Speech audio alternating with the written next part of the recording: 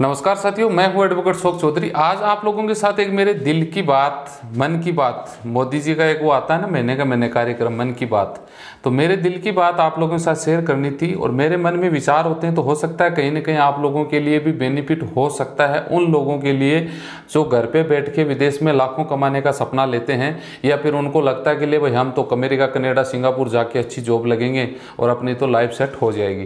क्योंकि ये मैं इसलिए बता रहा हूँ कि मेरे पास जितने भी व्हाट्सअप पे या फिर कमेंट में जितने मैसेज आते हैं ना, उसमें 80 परसेंट लोग यूरोप कंट्री वाले होते हैं।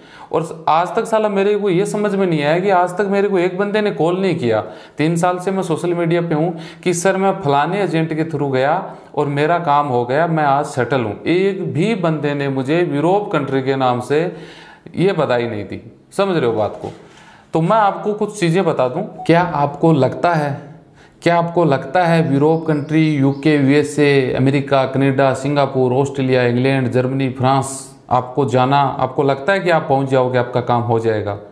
आपको लगता है। आपको ये लगता है कि यार इन कंट्रियों में तो मामूली बात है जाना, क्योंकि आपके पास मोबाइल पे ऑफ़र, लेटर, मेल वगैरह या फिर किसी एजेंट से फ़ोन करते हो या किसी ऑफ़िस में कॉल करते हो तो सब लोगों के वो बातें ऐसी करते हैं कि आपको लगता है यार इन कंट्रियों में तो चुटकी में जाया जा सकता है। आपको ये लगता है। लेकिन मेरी थिंकिंग मैं आज आप लोगों साथ शेयर करूँगा। आप लोगों को क्या लगता है? थोड़े से तो यार पैसे लग रहे हैं।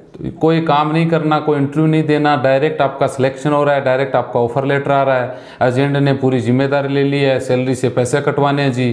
दुबई, कतर के लोग सत्तर अस्सी हज़ार लाख रुपए दे देते हैं। इधर से अमेरिका, यूरोप कंट्री में तो बहुत कम पैसे में आपका काम हो जाता है। तो आपको ये लगता है कि अपना काम तो हो जाएगा, और आप इस झांसे में बैठे रहते हो और आपके इस चक्कर में फिर घूमते रहते हो। लेकिन मैं एक सच्चाई आपको बता दूँ, लेकिन मैं एक बात बता दूँ कि कड़वी सच्चाई क्या है विदेश? जॉब के नाम से जितना आप आसानी से सोच रहे हो ना, उतना आसान नहीं है जितना आप आसान सोच रहे हो। एक छोटा सा जॉब लेने के लिए आपको कितनी मशक्क़त करनी पड़ी है, मैं इस स्लाइड के माध्यम से आपको समझाऊँगा, कुछ फुटेज डालूँगा कि एक छोटा सा जॉब हेल्पर का होता है। कंस्ट्रक्शन में हेल्पर लाइन का जॉब सबसे फोर्थ ग्रेड में मान लो या छोटे से छोटा जॉब इसको मान सकते हैं। इसके अलावा क्या जॉब होगा यार हेल्पर का? इसके अलावा तो कोई जॉब नहीं लगेगा मुझे। इसमें भी भाई पसीने आते हैं जॉब लेने के लिए। समझ गए? ये मैं डाल रहा हूँ मेरे शेखावाटी मेरे लोकल में जो एजेंट मेरा साथी था, वो कहीं आज से दस साल पहले जॉब करता था, आज उसने खुद ने मैन पावर का ऑफ़िस ले रखा है, खुद काम करता है गलप का। लेकिन वो गलप का करता है, उनके यहाँ इंटरव्यू थी, ठीक है? तो उन्होंने फेसबुक पे फोटोएँ डाली थी तो मैं वो फोटोएँ आप लोगों के साथ शेयर करूँगा। कि स्थिति रियल क्या है? जो आप सोच रहे हो ना कि इतनी आसानी से अपन यूरोप कंट्री में पहुँच जाएँगे, उतना आसान आप दुबई, कतर गलत में भी नहीं पहुँच सकते। क्योंकि भाई, एक छोटा सा जॉब लेने के लिए सुबह आपको घर से निकलना पड़ेगा इंटरव्यू स्थल पे 10 बजे आपको पहुँचना पड़ेगा, ठीक है? फिर सुबह से 10 बजे से लेके शाम 5 बजे तक आपको वेटिंग करना पड़ेगा कि कब आपका इंटरव्यू में नंबर आएगा। ठीक है, उसके बाद वहाँ नंबर आ जाता है, आपको फॉर्म भरना पड़ेगा फ़ोटो लगानी पड़ेगी, आपके पासपोर्ट की कॉपी करनी पड़ेगी, फिर वहाँ जमा करनी पड़ेगी, ठीक है, फिर आपका नंबर आएगा, फिर आपको इंटरव्यू देना पड़ेगा। इंटरव्यू में अगला बंदा देखता है, जो क्लाइंट आगे से आता है कंपनी की तरफ़ से एचआर मान लो मैनेजर मान लो एक्सवाइजेड कोई भी आता है, वो आपको देखता है कि हाँ आपको काम करना पड़ेगा। काम आपका आपको काम आ गया, उसके बाद वो अपनी कंपनी की कंडीशन बताता है कि जी, हमारी दस घंटे ड्यूटी करनी रहेगी। फ्राइडे की छुट्टी हम देंगे कि नहीं देंगे? एक साल से हम आपको टिकट देंगे कि नहीं देंगे? ये हमारी कंडीशन है, आपको सात बार जैसे तो यहाँ सिग्नेचर कर दीजिए ऑफ़र लेटर पे। वहीं के वहीं। फिर आप वहाँ पर भी आपकी नहीं चलती है कंपनी की चलती है, और वहाँ पे आप आप फिर भी उनकी एग्री हो जाते हो कि ठीक है सर, हमें एग्री हैं, आपके सामने प्रैक्टिकल हो रहा है। आपको सब कुछ लाइव होगा। वहाँ पर अगर आपका काम हो रहा है तो कोई चिटिंग नहीं होने वाली, जो है वो है वहाँ पर सब कुछ आपका करने के बाद में आपका सिग्नेचर होता है, आपका, आपको ये लगता है कि हाँ आपका काम हो गया। अब वहाँ पे दिक्कत क्या आती है मैं बता दूँ?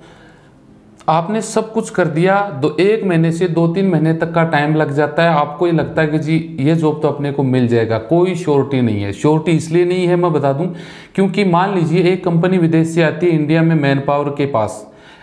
टुच्चे एजेंटों के पास तो आती नहीं है, सीधे बता दूँ मैं आपको। वो सिर्फ़ मैन पावर ऑफ़िस में आएगी, ठीक है? और वो उसमें भी इंडियन गवर्नमेंट की मान्यता लेनी पड़ती है, जिस दिन इंटरव्यू होता है। ऐसे नहीं मिलेगा, ठीक है साथियों? वहाँ पे इंटरव्यू हो गया, सब कुछ हो गया, आपका काम, आपको लगता है, जी, अब तो फिर फ्री है, अपना वीज़ा आ जाएगा, जो भी आपका पैसा देना है, जाना है। एग्ज़ाम्पल के तौर पर कंपनी को 50 बंदों की वर्करों की ज़रूरत है और वहाँ पर भीड़ हो जाती है इकट्ठी। सौ, दो सौ, तीन सौ लोग आ जाते हैं, जी। कंपनी फिर उसमें से सब लोगों के, मान लीजिए 200 लोग आए, उसमें से आधे लोग फेल हो गए, उनको काम नहीं आया, या इंटरव्यू में मतलब उनको कंडीशन नहीं जची, शर्त नहीं जची तो वो वापस आ जाते हैं। सौ बंदों का उन्होंने सिलेक्शन कर लिया। सौ बंदों को उन्होंने ऑफ़र लेटर सब कुछ ओके कर दिया और वो लिस्ट आगे चली गई कि इनका वीज़ा आना है। सौ में से पचास बंदों का वीज़ा ही आएगा, क्योंकि कंपनी को बंदों की पचास की ज़रूरत है, जबकि सौ बंदे वेटिंग में बैठे हैं। तो वो सौ, पचास जो बंदे बचे हैं, वो दो तीन महीने वेट करके थकार के, फिर भी उनका वीज़ा नहीं आएगा। एक हेल्पर में कंस्ट्रक्शन लाइन की मैं बात बता रहा हूँ आपको।